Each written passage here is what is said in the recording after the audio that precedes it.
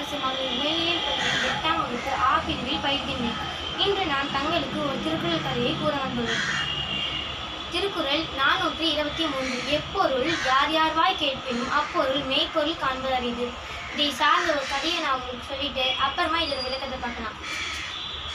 சிங்கமும் மந்திர பண்பம். ஒரு ஊரில் ஒரு சிங்கம் வந்தது. அந்த சிங்கம் ஒரு அதோட மனைவி கூட சந்தோஷமாக வாழ்ந்துருந்தது அவங்க ரெண்டு பேருக்கும் ஒரு குட்டி பிறந்தது அந்த குட்டிக்கு இப்போ ஏழு வயசு. அதுக்கு இன்னைக்கு பிறந்த நாள். அதனால சிங்கராஜா ஒரு விருந்து வச்சாரு. காட்டில் இருக்க எல்லாரையும் கூப்பிட்டாரு. ரிஷிக்கு பரிசு தரதுனால ரிஷியை எல்லாம் பரிசு தரத்துக்கு வரிசையில் நின்றுட்டு இருந்தாங்க. அடடே முதல் யார் நின்றுட்டு இருக்கிறது பாருங்களேன். நம்ம ரிஷியோட ஃப்ரெண்டு நண்டு. அதை நண்டு ஒரு குரங்கு. அது பேர் வந்து நண்டு தான் வச்சுருக்காங்க. ஆனால் அது ஒரு சின்ன குரங்கு. ரிஷியை விட மூணு வயசு சின்ன குரங்கு. ரிஷிக்கு குரங்கு வந்து வாழைப்பழத்தை பரிசாக இருந்தது வாழைப்பழம் ஒன்று சாப்பிட்டு மீதி அதோட குடும்பத்துக்கு வச்சிருச்சு. அடடே அடுத்து நிற்கிறது யாரு பாருங்களேன்? நம்ம கரடியாரு. கரடியார் கிட்ட நரி கேட்டது. க கரடியாரே நீங்கள் என்ன பரிசு ரிஷிக்கு வச்சிருக்கீங்கன்னு கேட்டது. உடனே கரடியார் அவர் கையில் இருந்த மாலையை காட்டி இது ஒரு அபூர்வமான வைர மாலை இது விலை மதிப்பில்லாதது அப்படின்னு சொல்லி ரிஷிக்கு பரிசு தந்தார். நரிக்கு இது பிடிக்கவே இல்லை.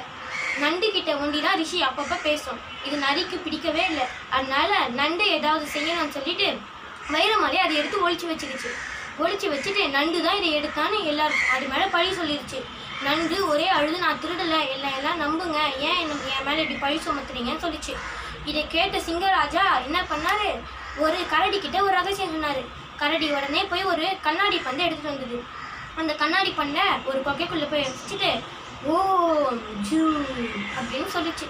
உடனே எல்லார்கிட்டேயும் வந்து எல்லாரும் அந்த கண்ணாடி பந்து மேலே கைகளை வச்சுட்டு நான் திருடலை நான் திருடலைன்னு சொல்லணும். இது மாதிரி மூணு வாட்டி சொல்லிட்டு வந்தீங்கன்னா யார் திருடலன்னு கண்டுபிடிச்சிடலாம். அது மாதிரி திருடுறவங்க அது மேலே கையை வச்சா உடனே கையை பிடிச்சிக்கும் அந்த மாயப்பந்து அப்படின்னு சொல்லாது உடனே முதல் நண்டு போய் சொல்லுச்சு. கையை மேலே வச்சு நான் திருடலை திருடலை திருடலைன்னு சொல்லிச்சு. இது மாதிரி எல்லாருமே சொன்னாங்க. நிறைய போய் சொல்லிட்டு வந்துருச்சு. சொல்லிட்டு வந்த உடனே நான் யாருமே திருடலையே. ஐயையோ யார் மேலே தான் அப்போ நம்ம பழி சுமத்துறது அப்படின்னு சொல்லிட்டு சிங்கராணி கேட்டார்.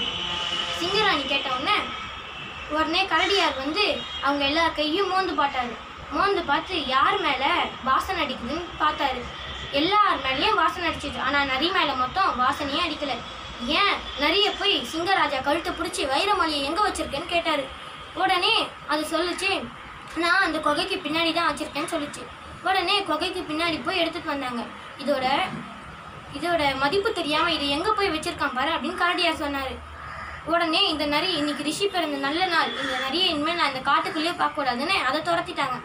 துரத்தின உடனே ராணியார் வந்து சிங்கராஜா கிட்டே கேட்டாங்க. நரி தான் திருடிச்சு நீங்கள் எப்படிங்க கண்டுபிடிச்சிங்கன்னு கேட்டாங்க.